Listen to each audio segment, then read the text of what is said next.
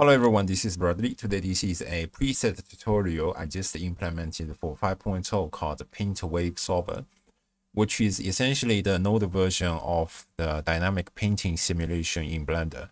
You can experiment yourself with this free demo file provided in the description. You can see three setups in the file. On the left is an infection spreading from the proximity of this empty object the middle leaves a trail created by these empty objects. And the right shows a waveform on the trail caused by these empty objects. Instead of using the designed animated movements of these empties, you can also just delete the keyframes and move them freely as you wish. Just make sure that when you play it, your timeline is actively running because this is a simulation. Before I talk about the exact usage, I want to share some background stories which is very impactful for the development of these presets. If you have been with me for the time I made the demonstration for this function, it was initially asked by a user in my Discord server.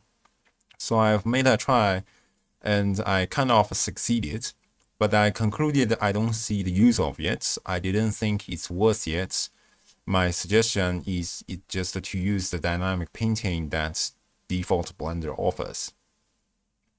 It may be painful to use at some point with these many options and the full integration with the newest geometry nodes, but at least their algorithm is more trustworthy while I don't really understand anything of what I did.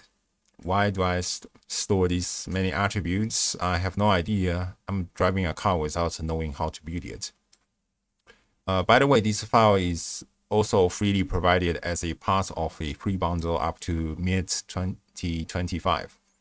I shared it for free because I really thought this was a crap. What's the point of reinventing a wheel and risking yourself with a faulty algorithm? Recently, however, I found use cases for it. At first, I was experimenting with this embroidery animation, most of the concepts are straightforward and have been discussed in older embroidery tutorials. One simple difference is that instead of using large stitches, which can look ugly across the entire logo, the pattern is split into multiple segments. The other difference, however, is more troublesome. You can see that the knitting is not formed in a single direction. As the border fills in, the inner stitches start to form and propagate towards the rest of the area. How's that done?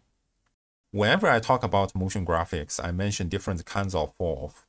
For example, in my most recent knitting tutorial about knitting cloth, I use the proximity falloff, which expands from a center point to the border. But I also mentioned directional falloff, which moves from one side to the other.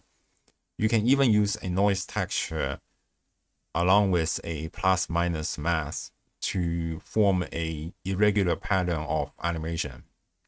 In this case, we just need a different type of falloff. We need one that can remember its state and propagate itself to other areas. To achieve this, we need to use a simulation zone to store the state of falloff over time. Based on this memory, the falloff can propagate and fade out. I briefly talked about this idea of memory falloff in the past when I made the smoking trail tutorial. At the time, it was essentially just painting and fading away, as you can also see in animations where a paint trail gradually disappears. this time, however, we don't just need to paint, we also need propagation. That part is relatively simple as it only requires a blur attribute in order to diffuse the values outward. This is the basic principle behind this variation of memory falloff.